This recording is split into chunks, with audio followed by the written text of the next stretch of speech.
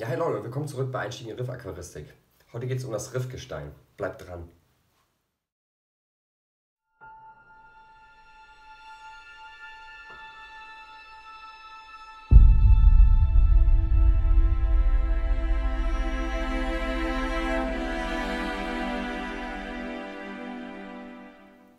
Ja, willkommen zurück und wie die Überschrift schon sagt, geht es heute um das Riffgestein.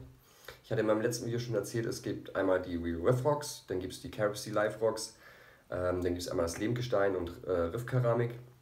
Ähm, da es momentan ein bisschen schwierig ist, äh, lebendes Gestein zu bekommen, habe ich mich persönlich für das Totgestein äh, entschieden. Und ich habe da Riffäste genommen. Und ähm, ja, ich stelle mir halt so einen Aufbau vor, der auf der einen Seite so ein bisschen fester ist und dann hier mit so einer schwebenden Zunge nachher ist. Ähm, das finde ich immer ganz cool, weil ich stehe so ein bisschen auf diese schwebenden Aufbauten. Und äh, da zeige ich euch dann gleich noch ein paar Bilder. Ich habe da ein paar Bilder von gemacht. Ja, Lehmgestein ist wie gesagt momentan schwer zu bekommen. Die haben äh, da jetzt einen Einfuhrstopp gemacht äh, und die wollen halt einfach diese Korallenriffe jetzt ein bisschen mehr schützen. Äh, beim Aquarienhändler Akzeno in Pinneberg, da haben sie jetzt wieder welches bekommen. Äh, das kommt aus Australien jetzt, nicht mehr aus Bali. Und da ist einfach das Problem, da kostet der Kilopreis jetzt äh, zwischen 20 und 25 Euro und das finde ich schon ein bisschen happig. Ja, ich habe es fürs Totgestein habe ich jetzt 7,50 Euro bezahlt. Äh, da kann man absolut nicht meckern. Ich habe da jetzt 60 Kilo von genommen, bin jetzt bei 450 Euro gelandet und äh, ich habe halt nur Riffäste genommen und ja, ich zeige euch gleich noch ein paar Bilder mit dem Aufbau. Und Jetzt haben wir natürlich Totgestein, das heißt, äh, da sind ziemlich viele Schadstoffe drin. Damit diese nachher nicht im Becken landen, äh, muss man gucken, dass man das Riffgestein erstmal noch ein bisschen hält hat.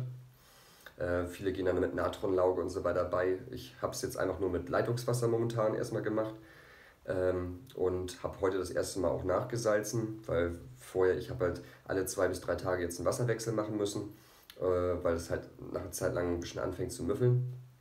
Und äh, ja, habe ich das Wasser komplett getauscht. Heute das erste Mal Salz mit zugegeben, weil sonst wäre es einfach zu schade gewesen. Salz ist ja auch nicht gerade günstig und ich habe da jetzt 142 Liter Wasser drin und 60, äh, 60 äh, Kilogramm Riffgestein. Und ich müsste da knapp 5 Kilo müsste ich da jetzt an Salz immer jedes Mal reinmachen und das ist mir einfach zu schade dann dafür. Ja, äh, ich habe das jetzt im 200 Liter Fass im Keller und äh, ich zeige euch da gleich nochmal ein Video von. Das habe ich vorhin noch gemacht. Dann könnt ihr es auch einmal kurz sehen. Ja, und ich habe hier auf dem Tisch habe ich äh, einmal einen Probeaufbau gemacht. Da habe ich jetzt ein paar Bilder geschossen. Die blende ich jetzt einfach mal ein und ja, ich bin gespannt, wie ihr, wie ihr es findet und könnt ihr mal kommentieren, was ihr so zu dem Aufbau sagt. Also ich werde natürlich nachher, wenn das Becken steht, werde ich nochmal einen kompletten Riffaufbau äh, starten, ein komplettes Video davon machen, detailliert und so weiter. Und ja, bin ich mal gespannt, wie das denn alles so wird. Ja, wo wir gerade beim Riffaufbau sind, äh, ich habe mir nochmal einmal dieses Reef Bond geholt.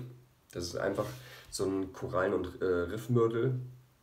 Und mit dem kann man halt das Gestein nachher super zusammenkleben und die Verarbeitungszeit ist hier auch nur 5 bis 15 Minuten. Das heißt, sobald der Riffaufbau fertig ist, kann man auch gleich starten mit der Beckenbefüllung. Ist auch ganz wichtig, wenn man jetzt zum Beispiel Lehmgestein bekommt noch irgendwo, ähm, dann sollte das ziemlich schnell aushärtend sein, damit das Lehmgestein halt nicht zu lange im Trocknen liegt und ähm, dann auch das Problem ist, dass irgendwas abstirbt da drin. Wenn das jetzt eine Stunde ist, das ist kein Problem. Wie gesagt, die Bakterien, die sitzen im Gestein, nicht auf dem Gestein und sollte es aber nachher länger sein, dann trocknet das Gestein durch und dann bekommt ihr echt Probleme. Dann habt ihr praktisch Totgestein, frisches Totgestein im Becken. Ja, ich zeige euch einfach mal ein paar Bilder jetzt. Ja, das sind jetzt die Riffäste und äh, wie ihr sehen könnt, das sind ziemlich große Stücken. Also da sind welche bei, die haben 60, 70 cm.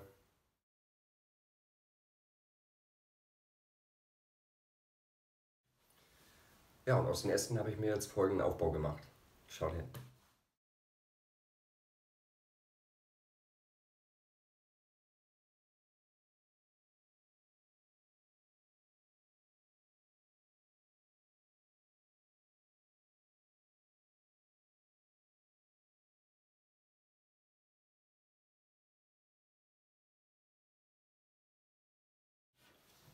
Ja, wie ihr jetzt auch auf dem letzten Bild sehen könnt, ist ein lockerer, luftiger Aufbau.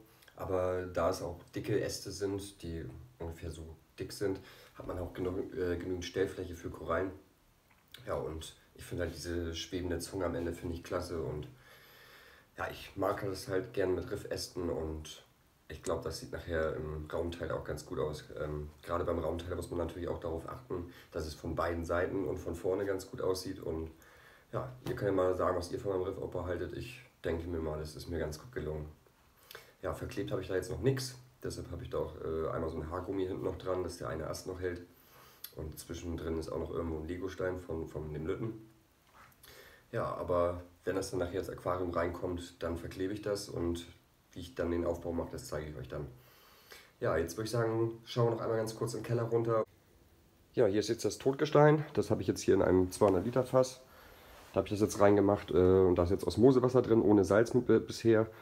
Äh, habe das schon einmal ausgetauscht, das Wasser, weil das beim ersten Mal doch ziemlich gerochen hat nach drei Tagen. Und ähm, ja, hier habe ich jetzt eine Rückförderpumpe von mir drin, meine alte, von meinem Red Sea Reefer. Und dann wird das einmal ordentlich durchgespült. Das sieht man jetzt hier auch schön. Die steht jetzt ganz auf dem Boden und die macht hier ganz gute äh, Strömung drin. Ja, wie gesagt, ähm, ich werde jetzt heute nochmal das Wasser austauschen, werde das wieder mit Osmosewasser befüllen und dann haue ich heute auch mal Salz damit rein. Ja, und wenn dann das Becken da ist, das dauert jetzt ja auch noch irgendwie ein bis zwei Monate und dann sollte das Gestein auch dann gut sein, so dass die ganzen Schadstoffe, die da jetzt momentan drin sind, dass die dann raus sind und ja, ich bin da guter Dinge, dass das funktioniert. Habe halt auch noch nie ein Becken mit Totgestein gestartet. Aber momentan ist es mit dem Lebendgestein ja ein bisschen schwierig zu gestalten. Und ja, hier habe ich jetzt 7,50 Euro den Kilo bezahlt. 60 Kilo sind das. Habe ich 450 Euro bezahlt. Und äh, ja, wie ihr am Riffaufbau sehen könnt, das war ja der Probeaufbau. Ich finde das super klasse jetzt mit den, mit den Riffästen auch und kommt sehr natürlich rüber.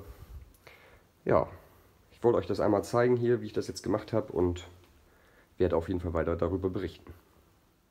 Ja, das war's für heute auch schon wieder und äh, es hat mich auf jeden Fall gefreut, dass ihr wieder eingeschaltet habt und bis zum Schluss geschaut habt. Ähm, lasst mir einen Daumen da, abonniert mich und äh, wer es noch nicht weiß, ich bin jetzt mittlerweile auch bei Instagram. Da könnt ihr mich auch mal suchen. Äh, das ist einmal Eider-Aquaristik. Da solltet ihr mich dann finden. Da poste ich immer wieder, wenn ein neues Video reinkommt. Und ja, lasst euch überraschen und wir sehen uns beim nächsten Mal. Denkt immer daran, Eider bringt euch weiter. Bis dann. Ciao.